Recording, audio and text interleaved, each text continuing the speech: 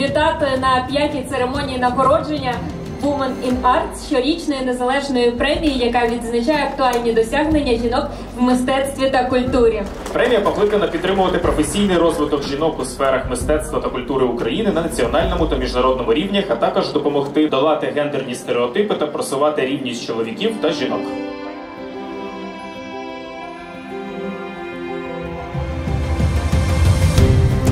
know that uh, the women that are nominated in the various categories are part of the resistance in Ukraine. В мистецтві і поза мистецтвом кожен може робити свій внесок.